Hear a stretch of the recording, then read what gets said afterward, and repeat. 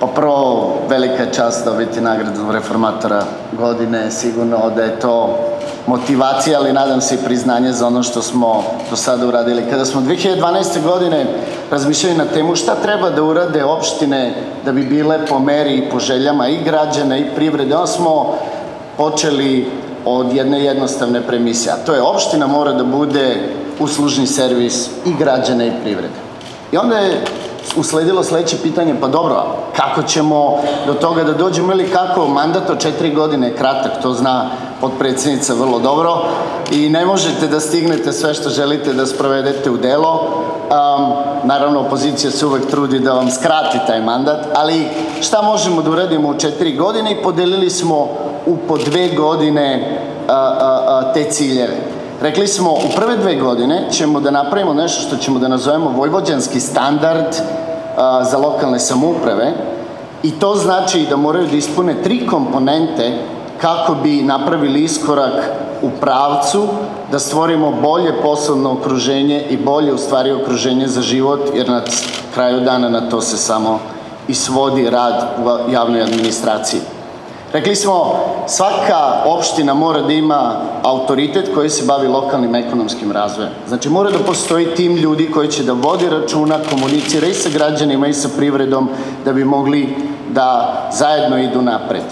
Drugo, morate, poštovane dame i gospodo, u lokalnim samoupravama, makar na salveti, naravno na salveti nije dovoljno, ali makar na salveti da napišete šta ćete da radite u periodu koji je pred vama.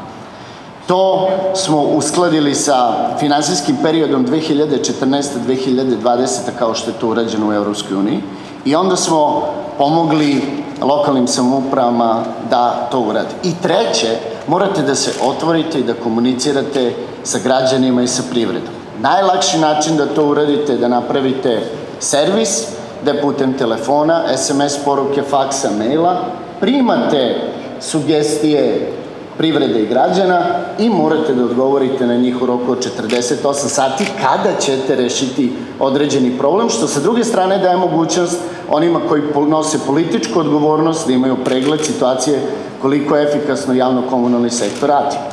I gde su rezultati? Rezultati su u tome da od 45 gradova i opština u 45 imamo autoritet koji se bavi lokalnim ekonomskim razvojem da od 45 gradova i opština u 43 imamo važeću strategiju razvoja, od toga 41 je usklađena sa evropskom perspektivom 2014-2020.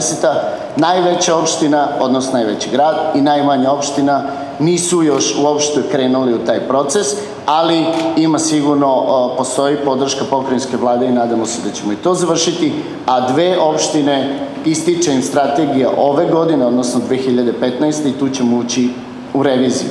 I treće, imamo u 40 opština taj servis za komunikaciju. Godina koja je za nama možemo da budemo vrlo zadovoljni. Intenzivna saradnja sa Naledom je dovela do toga da imamo jednu izvanrednu kampanju na aerodromu koja se ne tiče samo, iako finansirana od strane pokrajinske vlade, ne tiče se samo gradova i opštine iz Vojvodine, nego iz cele Srbije i na to smo ponosni.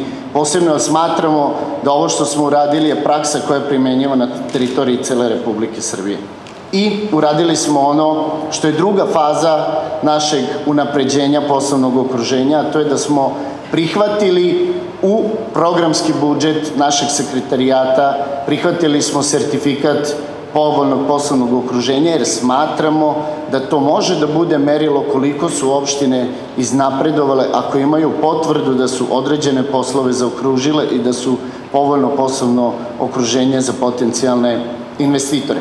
Pored toga, sproveli smo 18 treninga za lokalne samuprave kako bi ih pripremili za programski budžet. Na kraju krajeva strategije koje su pravile su osnova za te programske budžete i u narednom periodu želimo da uradimo zajedno sertifikaciju, odnosno prihvatamo sertifikat naleda, odnosno opštine treba da idu u proces sertifikacije gde će se znati ko koji posao radi, u kom vremenskom periodu i za koji je, kome je odgovoran za taj posao. Još jednom ja se zahvaljujem svim svojim kolegama koji su učestvovali u ovom poslu, a nadam se da ćemo podpredsjednica i ja naše reformatorske kapacitete na najbolji način pokazati time što ćemo projekat tunela kroz Frušku goru pomeriti sa mrtve tačke. Još jednom hvala na priznanju.